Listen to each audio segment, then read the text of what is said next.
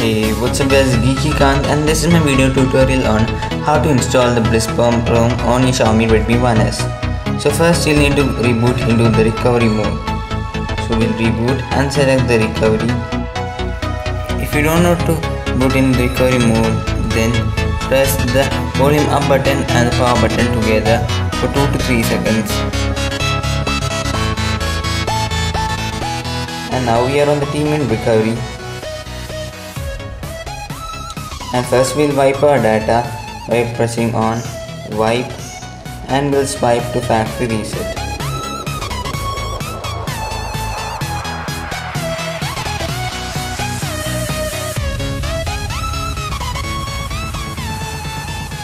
Now once this is done we'll select back and go home and we'll install and navigate to the file I have installed that using the ADB and the BlissPop and we'll select that and we'll add one more zip that is the GApps lollipop zip you need GApps for this.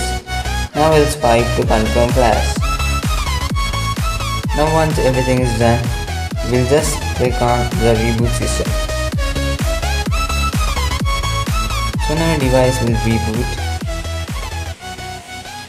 So this is the team list the boot animation.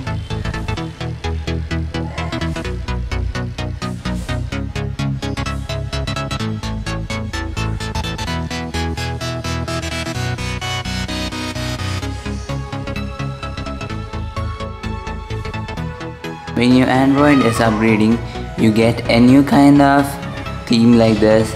It's a cool thing. And now we will get into the boot screen so we'll set up all this. English United States. I'll connect to my Wi-Fi quickly. And it's checking the connection. Software update we'll skip that.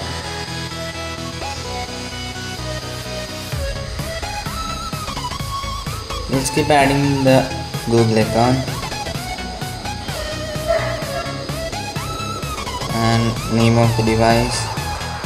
We'll type it as GeekyKant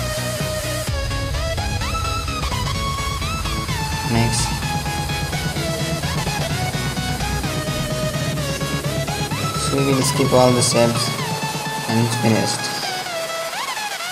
so this is a BlissPop ROM and I'll be testing this device soon. And I'll be telling you all the review of this.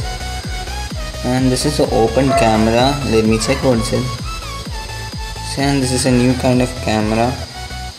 And I'll be testing this very much. And I'll be giving a link to that in the description below.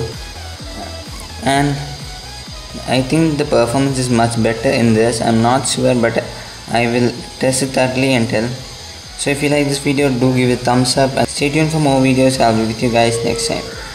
Thanks for watching. This is GeekyKant signing off